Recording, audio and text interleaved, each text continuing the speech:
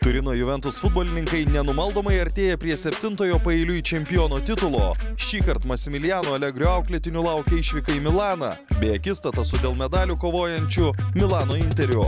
Kam geriau seksis dviejų legendinių klubo akistatoje, sužinosime stebėdami susitikimą iš San Siro stadiono. Šį šeštadienį 21.45 Inter Juventus tiesiogiai per Sport 1 ir Sport 1 HD.